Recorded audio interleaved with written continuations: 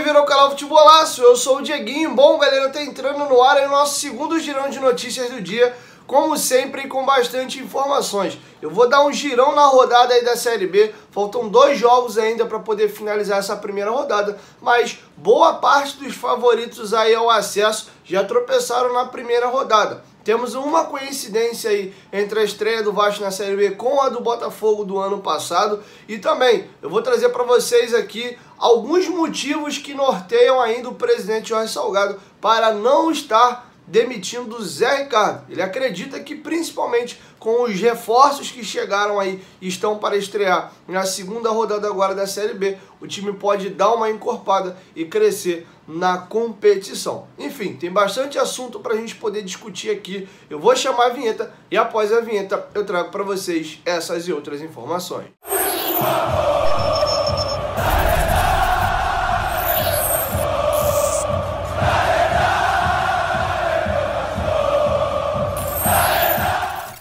Bom, galera, agora que a vinheta já rodou, vou pedir para tu deixar aquele like marotaço que ajuda a gente bastante. E claro, se for a tua primeira vez aqui no canal, não esqueça de se inscrever, ativar o sininho das notificações, além também de seguir a gente lá no Instagram, beleza? Antes de eu trazer as informações, eu venho te lembrar e trazer um recado da minha grande amiga que me ajuda todo santo dia, o aplicativo da OneFootball. Ele é extraordinário porque ele é 100% gratuito Nele você tem notícias do Vascão, do futebol brasileiro, europeu, sul-americano.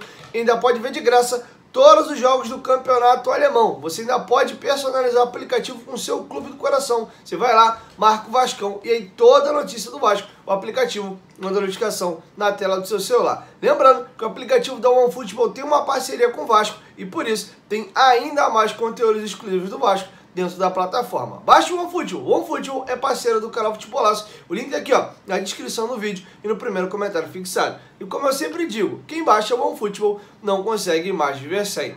Bom, vamos dar um girão aí na rodada da Série B. Faltam dois jogos ainda para a rodada ser finalizada, mas já dá para a gente ter um pouquinho de noção ou não. A gente vai dar uma passada aqui nos resultados da rodada e os cachorros grandes aí a maioria tropeçou nessa estreia de Série B. Bom, na sexta-feira o Brusque estreou contra o Guarani. Guarani esse que hoje tem na zaga o nosso ex-capitão Leandro Castan.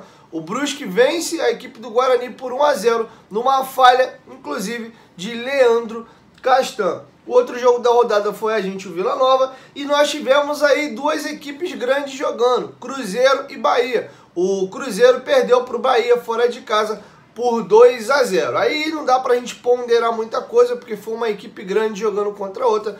Resultado super normal. Vamos ver como é que o Cruzeiro vai se comportar jogando contra outras equipes. Lembrando que o Bahia estava na crise danada, é, inclusive o Bahia ficou na sexta colocação do fraquíssimo campeonato baiano, não foi às finais do Campeonato Baiano, saiu precocemente da Copa do Nordeste e, salvo engano, acho que já saiu na Copa do Brasil também. Mas teve o principal jogo aí da temporada agora contra o Cruzeiro, venceu. Futebol tem muito dessas coisas. A Chapecoense recebeu em casa o Ituano e não passou de um empate magro por 1 a 1 e nós tivemos o Grêmio também jogando contra a Ponte Preta que foi rebaixada no Campeonato Paulista. O Grêmio acaba de ser campeão gaúcho, na verdade pentacampeão, é o quinto título consecutivo do Grêmio. E o Grêmio não passou de um 0 a 0 com a Ponte Preta no Moisés Lucarelli. O esporte que foi finalista da Copa do Nordeste, esse sim vem fazendo uma temporada muito boa, venceu a sua partida por 1 a 0 ganhou de São Paulo Correr. E a Tombense empatou em 1 a 1 com a equipe do Operário. E o Londrina venceu o Náutico por 2 a 0. Londrina que ano passado lutou contra rebaixamento e o Náutico que liderou o Campeonato Brasileiro da Série B por muitas rodadas, mas acabou perdendo fôlego e não se classificou para a Série A no ano no ano passado. Nós ainda temos dois jogos por acontecer. Na quarta-feira, às 7 horas da noite, o Novo Horizontino joga contra o CRB e o CSA, às 9, joga contra a equipe do Criciúma. Hoje, do jeito que está a rodada, o Vasco encontra-se na sétima colocação, aí a dois pontos do G4. Apenas quatro equipes venceram até aqui. Bahia, Londrina, Esporte e Brusque. Então, os favoritos aí, à exceção do Bahia, que teve um confronto direto contra a equipe do Cruzeiro venceu. E o esporte, que também teve um jogo em casa contra o Sampaio Correr, ganhou a sua partida. Tá tudo muito no começo, mas o que faz essa aura muito pesada negativa não tem jeito, é o histórico para trás. O Vascaíno tá aí assustado porque ano passado o Vasco acabou o Campeonato Brasileiro da Série B na décima colocação. Foi a primeira vez na história do Vasco da Gama que ele joga uma Série B e não sobe. E também já é a quinta participação do Vasco em Série B. O time foi eliminado na segunda fase da Copa do Brasil e foi às semifinais aí do Campeonato Carioca sem dar a mínima possibilidade ao torcedor de avançar até a final. Em momento algum, o Vasco pareceu que poderia ter eliminado o nosso maior rival. Que é um fato curioso, o companheiro Garoni levantou uma estatística de que já há nove jogos o Vasco não vence na Série B. A última vitória do Vasco na Série B, contando a Série B do ano passado com a Série B de agora, foi a vitória do Vasco contra o Curitiba, em São Januário, por 2 a 1 Germancano, inclusive, marcou um dos gols naquela partida e o outro gol, salvo engano, foi marcado pelo Nenê. O Vasco estava naquela arrancada ainda naquele momento, mas depois degringolou. São cinco derrotas e quatro empates até aqui. Então todo esse contexto joga contra e aí o torcedor do Vasco se sente muito agoniado. Bom, falando brevemente de Série A, o Curitiba acabou de vencer por 3 a 0 o Goiás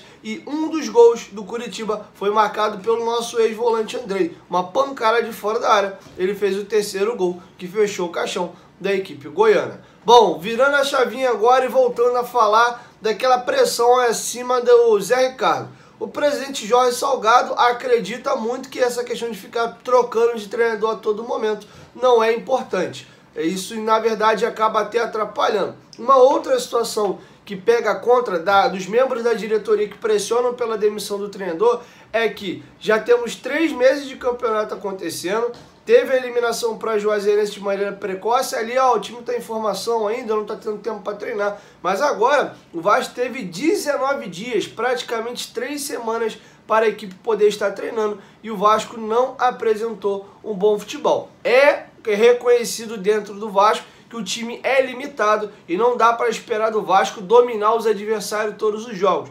Mas a equipe já deveria ter uma maneira de jogar. E isso não fica nítido, nem para o torcedor e nem para as pessoas hoje que compõem a diretoria do Vasco da Gama. Então a pressão internamente está muito forte para a demissão de Zé Ricardo, mas ele não deve ser demitido por enquanto. O Vasco joga o seu próximo jogo no próximo sábado, fora de casa, contra a equipe do CRB, que ano passado, por muito pouquinho, não conseguiu acesso para a primeira divisão. Beleza? Bom, o Vasco, inclusive, através de Jorge Salgado, acredita que o time pode ter uma melhora com os reforços que ainda estão por estrear. Dos cinco reforços contratados, apenas um estava regularizado para a estreia contra o Vila Nova, que foi o Lucas Oliveira que já atuou. Os outros quatro reforços, Gabriel Dias, Eric, Zé Vitor e Palácios, esses devem estar disponíveis para o jogo da segunda rodada. Até o presente momento, apenas o nome do Eric, atacante que veio da equipe do Ipiranga, já apareceu